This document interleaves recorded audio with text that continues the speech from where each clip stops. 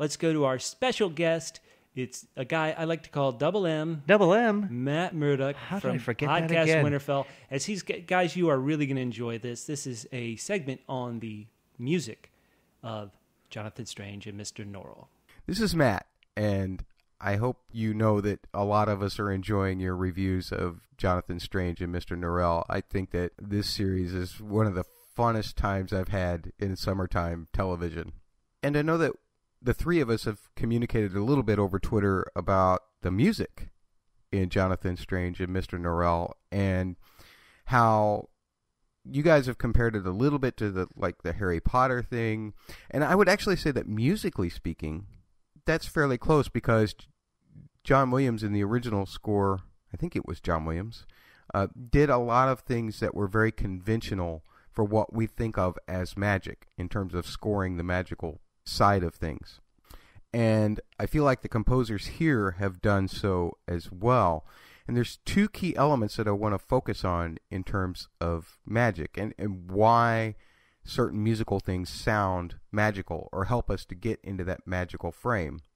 And the two key things that always seem to ring through as being kind of magical to us as viewers are the instrumentation that is used and the meter in which it is placed, the time signature. Now, as far as the instrumentation goes, bell percussion is one of those things that really draws your attention and make places you into kind of an otherworldly place, a magical place.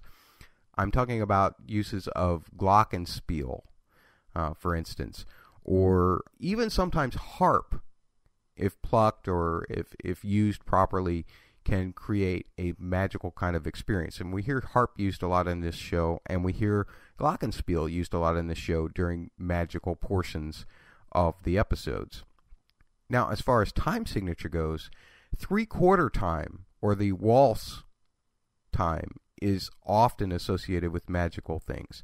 And I think if you go back to the romantic period of composition, and I'm talking like Tchaikovsky, Wagner, uh, those kind of composers, that was where it was really established because we started to get these huge ballets and operas and tales of magical places where composers needed to convey something magical happening or whatever.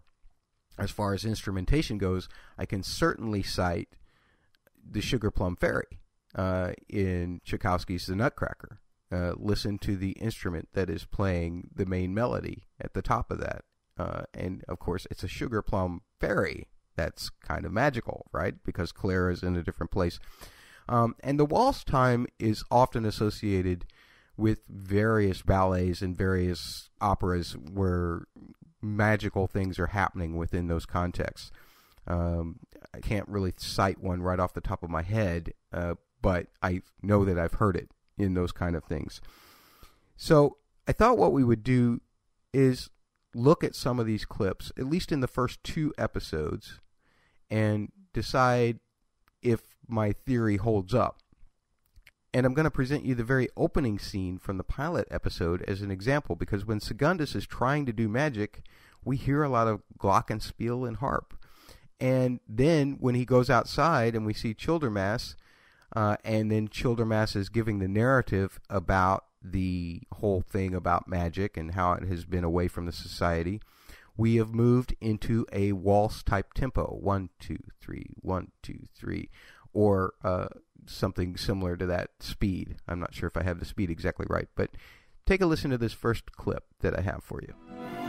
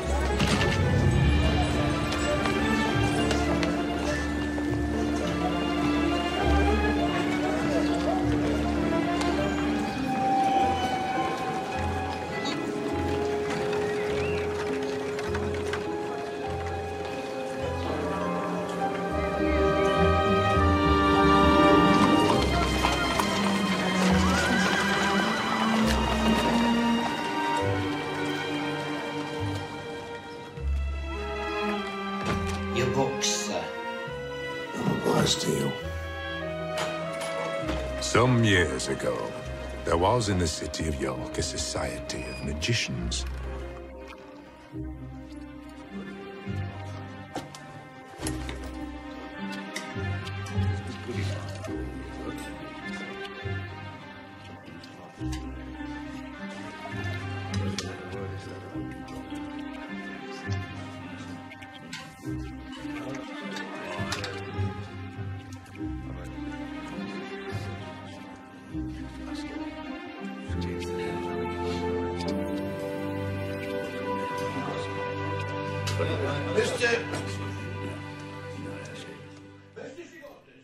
So again, you have the glockenspiel and the harp while Segundus is trying to give us magic, and then you have that waltz tempo as we get more into the introduction of what is happening in England by Childermass.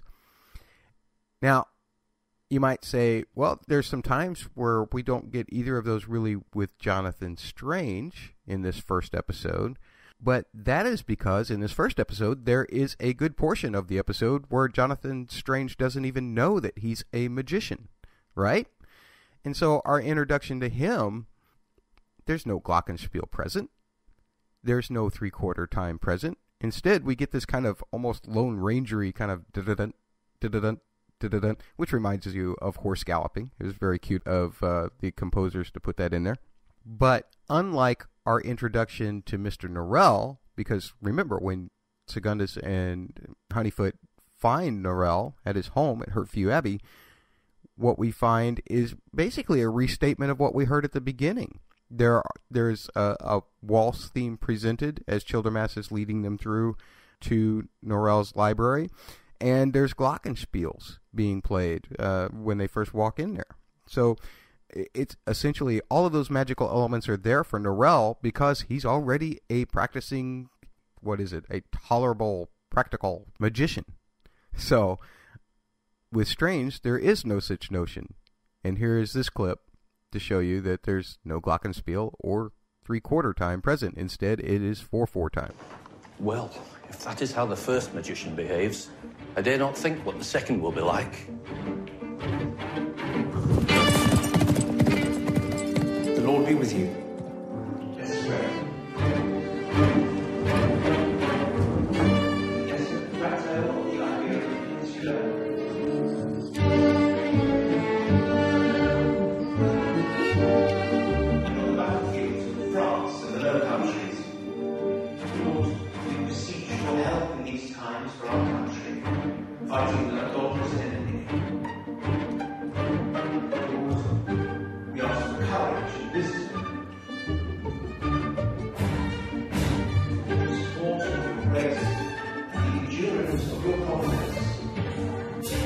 Daily strengthens us. Amen. Well done, Henry. You're using your voice much better. More authority. Now, here is something that I love what the composers did. When Jonathan Strange performs magic for the first time, you still have the staccato string, that, that da-da-dun, da-da-dun thing going on. But it changes to three quarter time as he's performing magic for the first time. Take a listen. Then I draw a circle on the mirror, mm. like this. And then I quarter the circle Jonathan, where did you get this nonsense? from the man under the hedge. Henry, do at least try it. that... that is not your ceiling.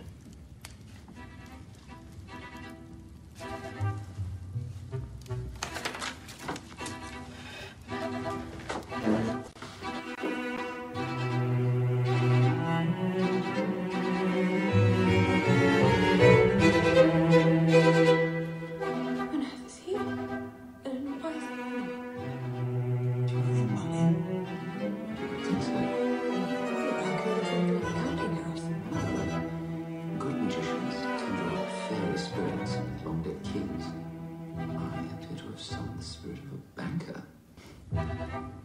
But at least I am a magician.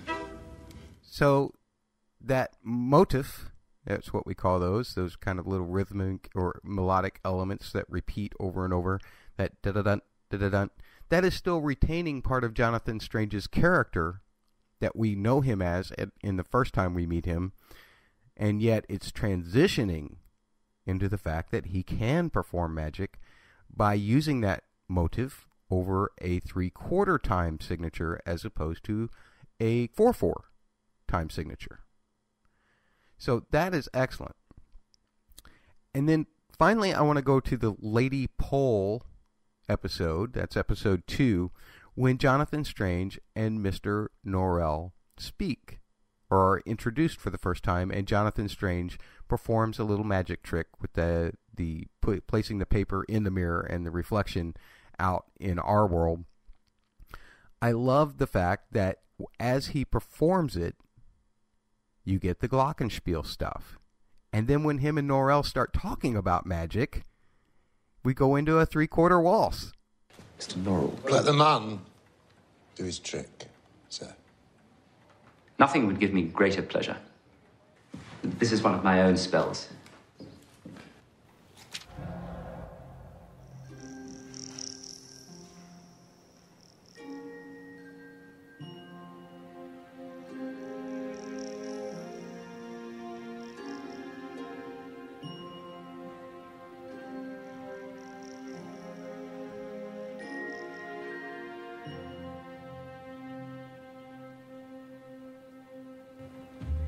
Mr. Strange. Oh, my dear Mr. Strange, this is remarkable.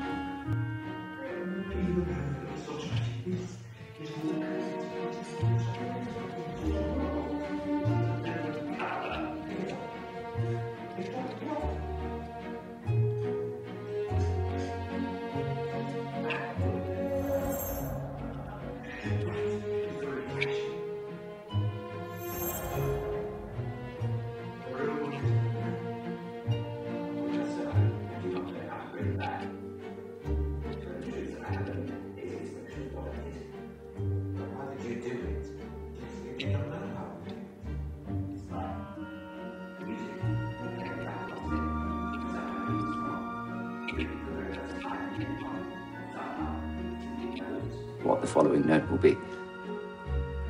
Yes. Yes, I do understand what you mean.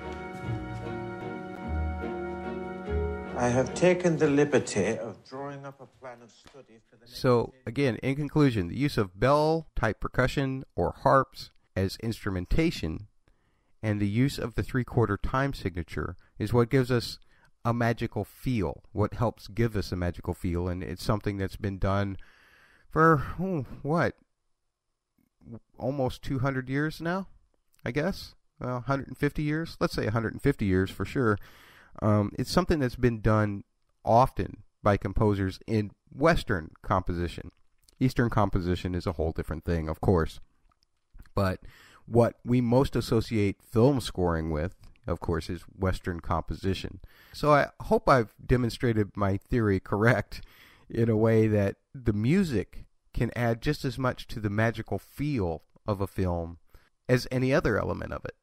And thanks for taking the time to listen to this, guys. Bye.